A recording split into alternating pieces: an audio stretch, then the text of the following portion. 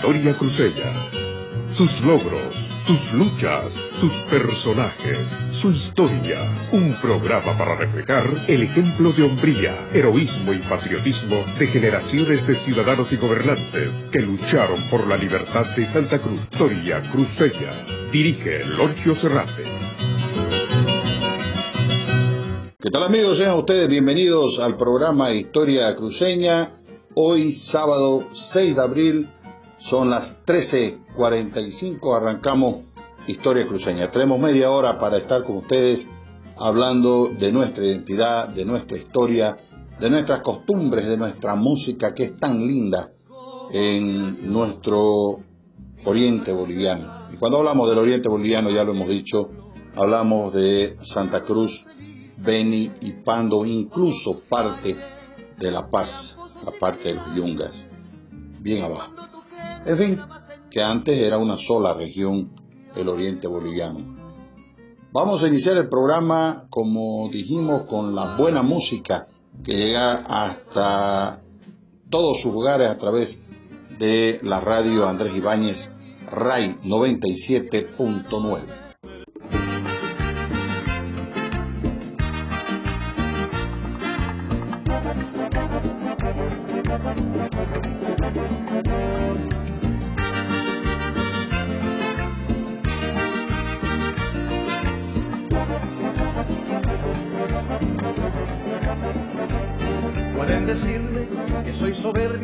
porque en amores no tengo rival, no me conformo con una sola, quiero a todingas para el carnaval, voy por el mundo alegre y libre, haciendo versos para conquistar, siempre buscando nuevos amores, porque la vida se hizo para amar, siempre buscando nuevos amores, porque la vida se hizo para amar.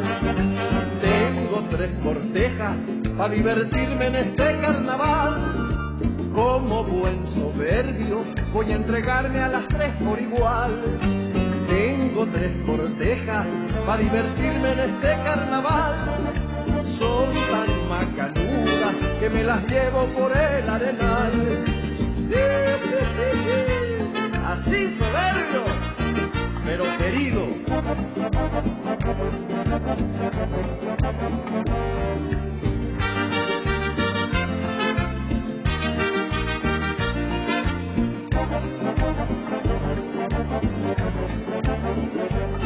Pueden decirme que soy soberbio porque en amores no tengo rival. No me conformo con una sola, quiero a todingas para el carnaval. Voy por el mundo alegre y libre, haciendo versos para conquistar. Siempre buscando nuevos amores, porque la vida se hizo para amar. Siempre buscando nuevos amores, porque la vida se hizo para amar. Tengo tres cortejas para divertirme en este carnaval. Como buen soberbio voy a entregarme a las tres por igual. Tengo tres cortejas para divertirme en este carnaval. Son tan macanudas que me las llevo por el arenal. Querido, con las dichosas, soberbio.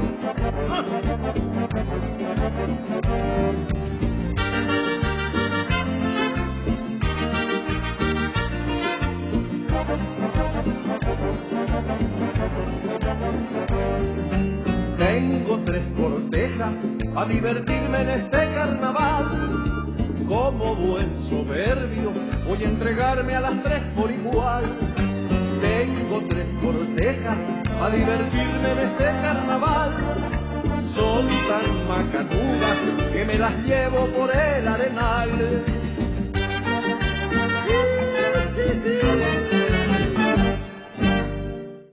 Bien amigos, definitivamente importante escuchar a Aldo Peña porque nos ayuda también, como siempre lo decimos, todos nuestros cantautores nos ayudan a difundir nuestra, nuestra cultura, nuestras tradiciones, nuestros, nuestras leyendas que son tan ricas en el oriente boliviano. Vamos a nuestra primera pausa y ya estamos con el desarrollo de todo el programa para todos ustedes. En la Casa del Capa el servicio esmerado y la cordialidad es parte de nosotros. Quien aprecie el verdadero sabor podrá deleitarse de nuestra exquisita y gran variedad de comida tradicional. Todo en un ambiente agradable, con naturaleza exuberante, donde disfrutará de la compañía de la familia y amigos. Venga a la casa del Camba. Lo esperamos con los brazos abiertos. La casa del Camba. El verdadero sabor cruceño. Así como la luz da la claridad que nos permite ver en ciertos lugares, también puede darnos la claridad para entender más del servicio de energía eléctrica. CRE es la encargada de llevar la luz hasta su hogar. Sin embargo, le aclaramos que aunque el costo del alumbrado público venga en la misma factura de luz, este servicio y la tasa cobrada dependen exclusivamente de la honorable alcaldía municipal. Por tanto, para información acerca del servicio de energía eléctrica de su casa, llame a CRE. Y si es para su calle, avenida o plaza, llame a la alcaldía. Clarísimo, ¿cierto? CRE, 50 años de energía solidaria.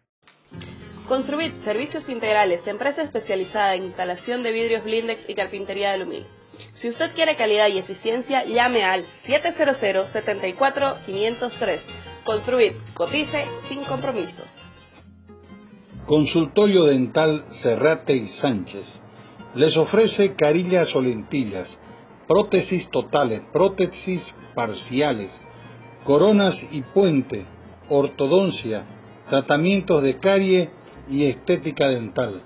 Los esperamos en Avenida Tomás de Leso, esquina Lagunillas, o al teléfono 781 74 646. Cuando los primeros rayos del sol tocan las hojas y la tierra, miles de hombres y mujeres ya están trabajando en las granjas, son productores que cuentan con la eficiencia de la tecnología Plazón y sus servicios. Distribuidores exclusivos para Bolivia de productos de granjas para aves y cerdos. Corpal, llame al teléfono 763-33331. Si usted quiere degustar una deliciosa torta de merengue, comuníquese con la señora Teresita al teléfono 708-50783 y reserve la suya.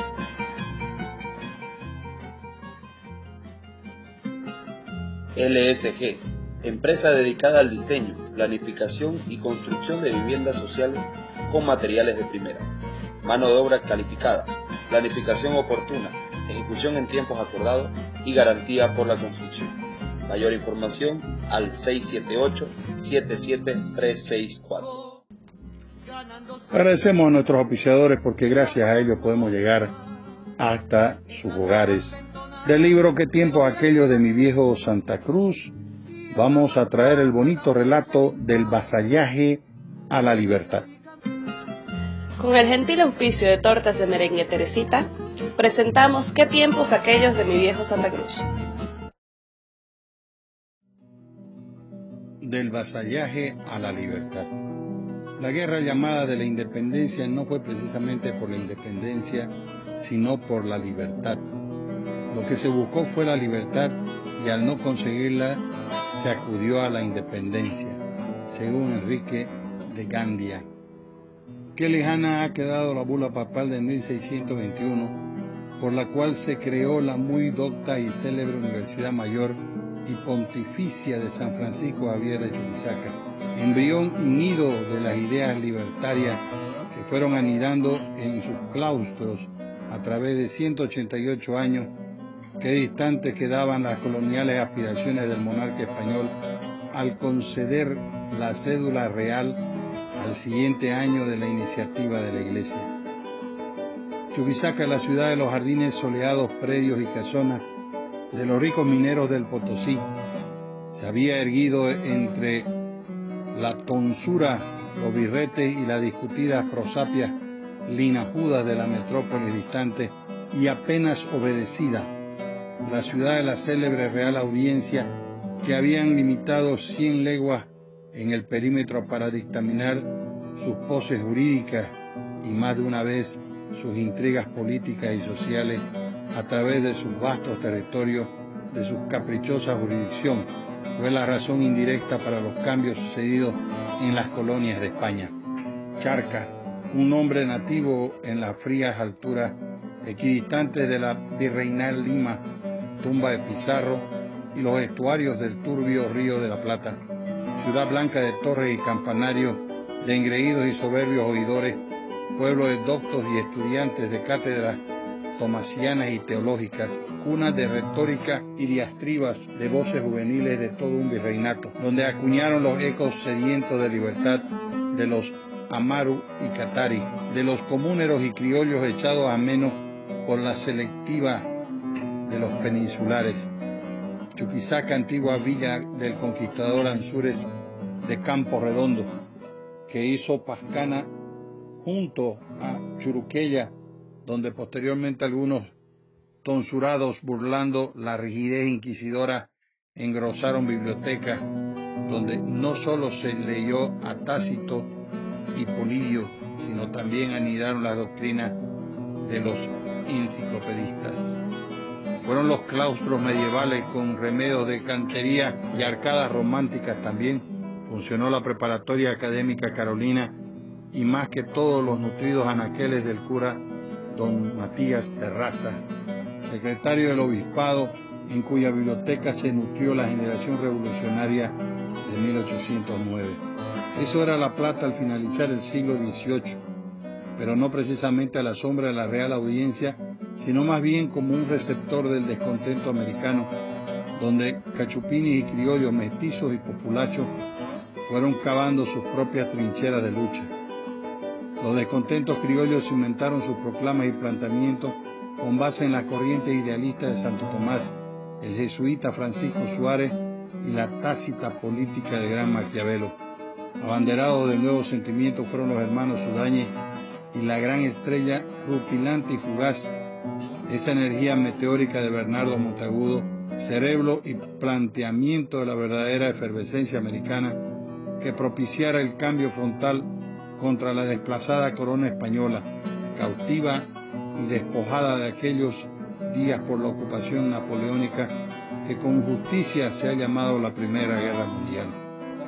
La apacible y doctoral Chuquisaca al empezar el siglo XIX hacía triza su poderoso control de mandatos reales, la nunca descuidada oportunidad de la infanta Carlota, las apariciones del emisario de la Junta de Sevilla, Manuel de Goyeneche, y los desacuerdos del presidente de la Real Audiencia, García Pizarro, aliado del obispo don Benito María Moxo y Francoli, contra los oidores de la audiencia, fue el hermoso marco de oportunidad que aprovecharon muy bien los egresados de la Pontífica Universitaria Charquina, más la ayuda poderosa del coronel Álvarez de Arenales, a la sazón jefe militar de la Plaza Chuquisaqueña, que no obstante de ser un legítimo peninsular, abrazó la causa emancipadora desde sus primeros albores hasta el disparo del último mosquete realista en la controversia de absolutistas y constitucionales en la batalla de Tumuzla, trágica agonía de un imperio socavado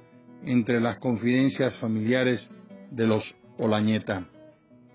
Las indias de Marino Genovés había entrado plena convulsión revolucionaria en todos los rincones americanos el, verano de las hojas dispersas empezaba a empelotar los frutos maduros de la insurrección. El 25 de mayo de 1809 se inicia la gran proclama libertaria de América y es en la histórica ciudad de cúpulas y advices, de salmodias y rosarios, de oidores y abogados, retóricos y liberales incipientes, en la misma sombra de la Real y Pontificia Universidad de San Francisco de Chuquisaca, es más teórica que bélica para disparar después de 15 años los últimos cañonazos en las cercanas laderas del Condorcunca, donde el mismo virrey La Serna, joven y estratega, y los no menos oficiales discípulos de Wellington, vencedores de Napoleón, Canterac y Valdés, tulaban honrosamente ante el genio magnánimo y militar del mariscal Sucre, dejando en libertad a casi todo un continente. Solo el Alto Perú, la cuna de la libertad y el viejo farol jurídico de la célebre charca obediente al virreinato del Perú y luego al de Buenos Aires, quedaba solo a la vez desvinculado del RIMAC y del Río de la Plata. Pero el esfuerzo de los sudaños y montagudos quedaba como la primera página escrita del idealismo de la libertad. luego envuelto entre el humo de la victoria y de la apoteosis de la más bella consecución del hombre americano, aparece la verdadera génesis de los tránsfugas, de los revolucionarios de cartas y chisme, los criollos serviles de gachupines y encomenderos de turbinas jugadas, y encomenderos de turbias jugadas. Apenas había podido quitar el antifaz de sus traiciones e induciendo y probando un nuevo engaño, corren a resguardarse para la capa victoriosa el vencedor de Ayacucho. El decreto del 9 de febrero de 1825, dictado por el mariscal Sucre, en gran parte, si no en su integridad, es la argucia oportunista para acomodarse de nuevo en sus aspiraciones personales y echar las bases de un bosquejo de nación independiente de Don Odroso.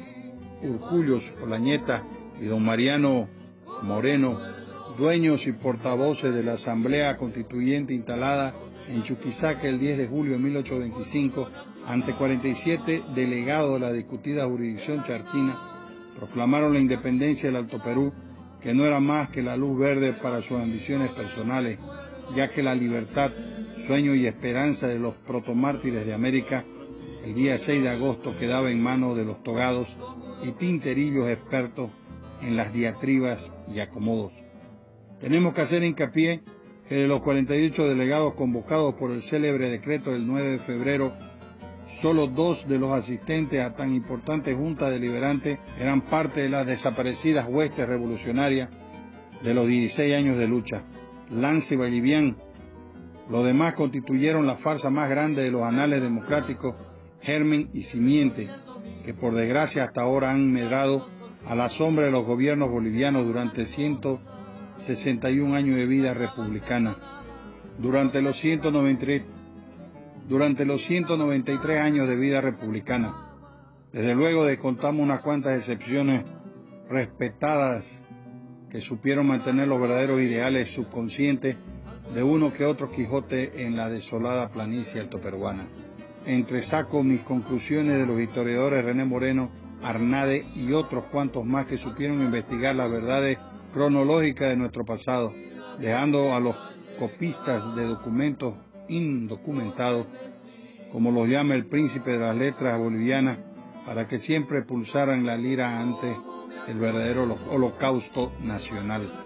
Así hemos nacido y en gran parte de este periodo republicano de casi dos siglos de azarosa existencia, los bolivianos no hemos podido cambiar nuestra herencia genética, salvando desde luego respetadas excepciones.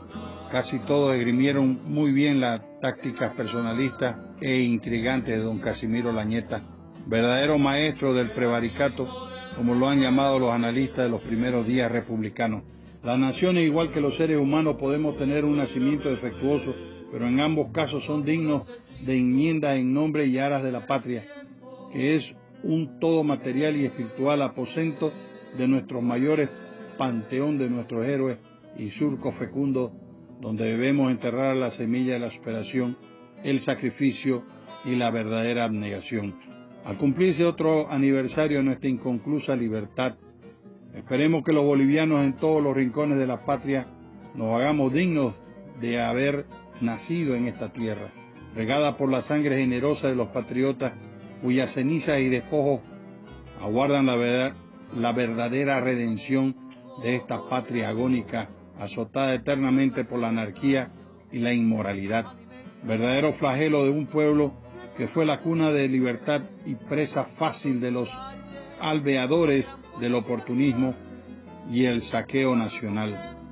Tengamos presente que ayer fuimos los dueños del rico Potosí y ahora tristes por dioseros de la indiferencia vecindad internacional. Tomemos en cuenta que estos relatos del doctor Aquiles Gómez Coca se hicieron en la década de 1980 aproximadamente. Por lo tanto, la realidad de esa época no necesariamente sea la realidad actual. Con el gentil auspicio de Tortas de Merengue Teresita, presentamos ¿Qué tiempos aquellos de mi viejo Santa Cruz? Bien amigos, y hablar del vasallaje que existía en Santa Cruz, existía la esclavitud, eh, existían leyes que ligaban al patrón, al trabajador del patrón por, por generaciones. Todo esto fue parte de la historia y no hay que negarla. Por supuesto que no tiene nada que ver con la realidad de nuestros días, pero que fue parte de nuestra historia y el vasallaje y la esclavitud existió pues en todo el mundo, existió en toda Bolivia también. Y el vasallaje en otras partes se llama pongueaje, en fin, eh, también existió en todas partes. Vamos a nuestra segunda pausa en el programa y ya estamos con la última parte de Historia Cruceña. En la Casa del Campa, el servicio esmerado y la cordialidad es parte de nosotros. Quien aprecie el verdadero sabor podrá deleitarse de nuestra exquisita y gran variedad de comida tradicional. Todo en un ambiente agradable, con naturaleza exuberante, donde disfrutará de la compañía de la familia y amigos. Venga a la Casa del Camba. Lo esperamos con los brazos abiertos. La Casa del Camba. El verdadero sabor cruceño. Así como la luz da la claridad que nos permite ver en ciertos lugares, también puede darnos la claridad para entender más del servicio de energía eléctrica. CRE es la encargada de llevar la luz hasta su hogar. Sin embargo, le aclaramos que aunque el costo de alumbrado público venga en la misma factura de luz, este servicio y la tasa cobrada dependen exclusivamente de la honorable alcaldía municipal. Por tanto, para información acerca del servicio de energía eléctrica de su casa, llame a CRE. Y si es para su calle, avenida o plaza, llame a la alcaldía. Clarísimo, ¿cierto? CRE, 50 años de energía solidaria. Construir servicios integrales, empresa especializada en instalación de vidrios blindex y carpintería de aluminio. Si usted quiere calidad y eficiencia, llame al 700-74-503. Construir, cotice sin compromiso. Consultorio Dental Cerrate y Sánchez les ofrece carillas o lentillas, prótesis totales, prótesis parciales, coronas y puente, ortodoncia, tratamientos de carie y estética dental. Los esperamos en Avenida Tomás de Leso, esquina Lagunillas o al teléfono 781 74 646. Cuando los primeros rayos de sol tocan las hojas y la tierra, miles de hombres y mujeres ya están trabajando en las granjas, son productores que cuentan con la eficiencia de la tecnología Plazón y sus servicios. Distribuidores exclusivos para Bolivia de productos de granjas para aves y cerdos. Corpag, llame al teléfono 763-33331. Si usted quiere degustar una deliciosa torta de merengue, comuníquese con la señora Teresita al teléfono 708-50783 y reserve la suya.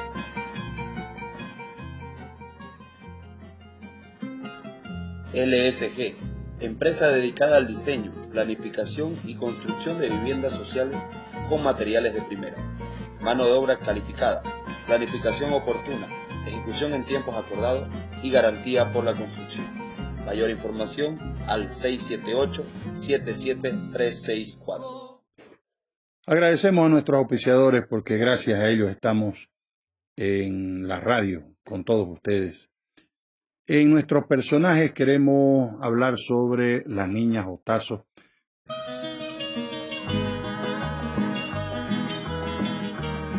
Con el gentil auspicio de Construir Servicios Integrales presentamos nuestros personajes.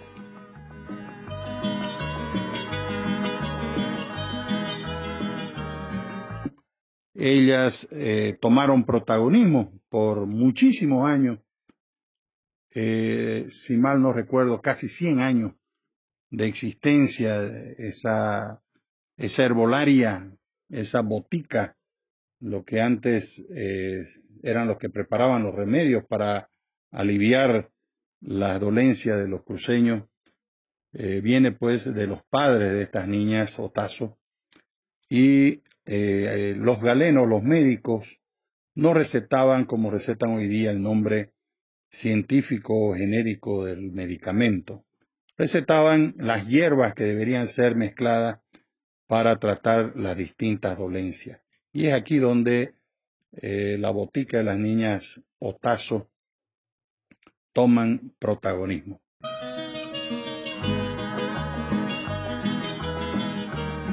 Con el gentil auspicio de Construir Servicios Integrales presentamos nuestros personajes.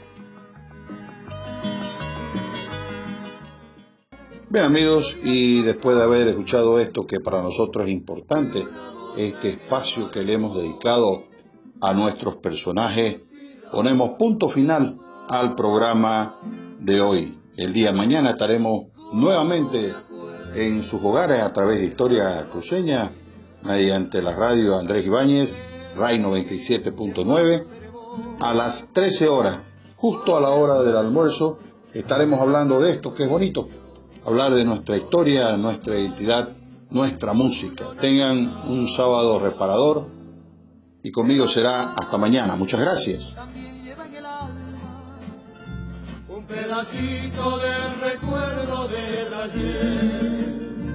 La catedral San Francisco y la